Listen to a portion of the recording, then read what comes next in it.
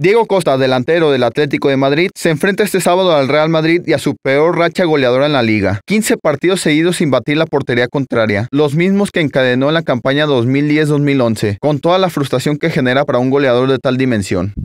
Si Diego Costa está bien, el Atleti tiene muchas opciones de ganar. Destacó el pasado 10 de septiembre el entrenador argentino con una entrevista en la cadena Cope, un ejemplo de la indudable trascendencia que tiene el atacante para su equipo y para él, quien insistió e insistió en su vuelta hasta que lo consiguió.